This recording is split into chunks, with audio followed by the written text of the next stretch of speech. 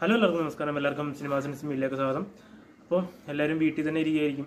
എല്ലാവരും സിനിമയൊക്കെ കണ്ട് മൊത്തം വീട്ടിൽ തന്നെ ആയിരിക്കും. അപ്പം എല്ലാവരും വീട്ടിൽ തന്നെ ഇരിക്കുന്നതായിരിക്കും നല്ലത്. മൊത്തം സ്പ്രെഡ് ആവുന്നുണ്ട്. അപ്പോൾ ആ വീട്ടിൽ ഇരിക്കുന്ന സമയത്ത് കാണാൻ പറ്റുന്ന നല്ലൊരു ത്രില്ലർ സിനിമയാണ് ഞാൻ പറയാൻ പോകുന്നത്. തെലുങ്ക് ത്രില്ലർ സിനിമ അപ്പോൾ എല്ലാവരും ഈ ചാനൽ സബ്സ്ക്രൈബ് ഇല്ലെങ്കിൽ സബ്സ്ക്രൈബ് സപ്പോർട്ട് ചെയ്യാൻ അതിനകത്ത് കൂടുതൽ ഫിലിം റിലേറ്റഡ് ആയ കാര്യങ്ങളാണ് പറയുന്നത്. അപ്പോൾ എല്ലാവരും സപ്പോർട്ട് ചെയ്യാം. ആദ്യത്തെ മൂവി ഞാൻ പറയുന്നത് യവരെ എന്ന് പറഞ്ഞ മൂവിയാണ്. യവരെ മൂവി നടൻ ശേഷാണ് രജീന കാസൻഡ്ര നവീൻ ചന്ദ്ര അങ്ങനെ കുറച്ച് കാസ്റ്റിനകത്ത് വരുന്നുണ്ട്. അപ്പം ഡീറ്റെയിലിങ്ങിലൊന്നും പോകുന്നില്ല. എവരെയാണ് ഞാൻ ഫസ്റ്റ് പറയുന്ന മൂവി ഒരു പോലീസ് ഓഫീസറെ കൊന്നതിന് സമീറ എന്ന പെൺകുട്ടിയെ കുറിച്ച് അന്വേഷിക്കാൻ ഇറങ്ങുന്ന വിക്രം വാസുദേവ് എന്ന ഇൻസ്പെക്ടറായിട്ടാണ് ശേഷിനകത്ത് വരുന്നത്. പക്ഷേ ത്രില്ലിംഗ് ആയിട്ടുള്ള കുറേ സംഭവങ്ങളും കാര്യങ്ങളുണ്ട്. ലാസ്റ്റ് ക്ലൈമാക്സ് ട്വിസ്റ്റ് എന്ന് പറയുമ്പോൾ നൈസാണ് ഇൻവിസിബിൾ ഗസ്റ്റ് എന്ന സിനിമയുടെ റീമേക്ക് ആണ് ഈ സിനിമ പക്ഷേ ഇൻവിസിബിൾ ഗസ്റ്റ് കാണാത്തവർക്ക് ഇത് നല്ല ഒരു കിടിലും ത്രില്ലറായിരിക്കും കണ്ടവർക്കും കുഴപ്പമില്ലാതെ കണ്ടിരിക്കാം. കാരണം നല്ല മേക്കിംഗ് ഒക്കെ നല്ലതാണ്.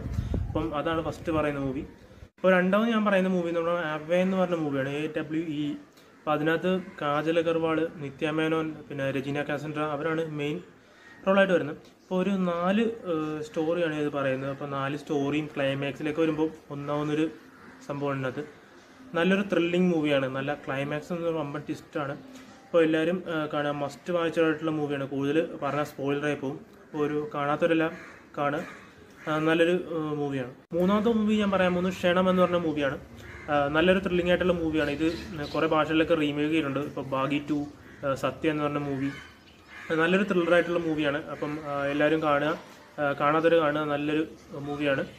ഈ മൂന്ന് ഭാഷകളിലും ബെസ്റ്റ് ആയിട്ടുള്ള മൂവിയായിട്ട് എനിക്ക് തോന്നിയത് ക്ഷണം എന്ന് പറഞ്ഞ മൂവിയാണ്. അപ്പം നാലാമത് ഞാൻ പറയാൻ വന്ന മൂവി ഏജന്റ് സായ് ശ്രീനിവാസ അത്രയ എന്ന് പറഞ്ഞ മൂവിയാണ്. നല്ലൊരു കോമഡി ത്രില്ലർ മൂവിയാണ്.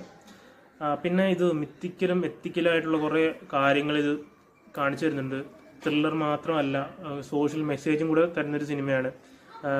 നല്ലൊരു മൂവിയാണ് നല്ല ത്രില്ലിംഗ് ആയിട്ടുള്ള മൂവിയാണ് കൂടുതൽ സ്പോയിലർ പറയാത്തൊരു ത്രില്ലിംഗ് ആയിട്ടുള്ള മൂവി എന്ന് പറയുമ്പോൾ ഇപ്പോൾ വല്ല കഥയൊക്കെ പറഞ്ഞു കഴിഞ്ഞാൽ ചിലപ്പോൾ സ്പോയിലറായി കഴിഞ്ഞാൽ കാണാനൊരു ഗുമ്പുണ്ടാവില്ല. അതുകൊണ്ടാണ് കഥയൊന്നും അധികം പറയാത്തത്. അപ്പം എല്ലാവരും കാണുക. നല്ലൊരു ഇമ്പോർട്ടന്റ് മൂവി എന്ന് വേണമെങ്കിൽ പറയാം. നല്ലൊരു കോമഡി ത്രില്ലർ മൂവി അവസാനമായിട്ട് പറയാൻ വന്ന മൂവി ഗൂതാചാരി എന്ന് പറയുന്ന മൂവിയാണ് അത് ശേഷിന്റെ പടം തന്നെയാണ്.